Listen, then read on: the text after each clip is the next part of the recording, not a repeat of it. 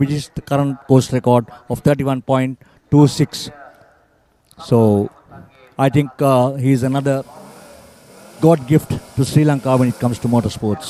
අනිවාර්යෙන් මේ උෂාන් පෙරරා තමන්ගේ මීළඟ තරග නියෝජනය ට්‍රක් ඇන් ජීප් තරග ඉසව යටතේ කැඳවාගෙන එන්නේ විශේෂයෙන් මාෂාන් අප දකින වර්තමානයේදී ඔහුට අභියෝගයක් නැති තරම් අශාන්ට අභියෝගයක් වේ නම් තවදුරටත් මෑත කාලීනව ඔහුම පමණයි.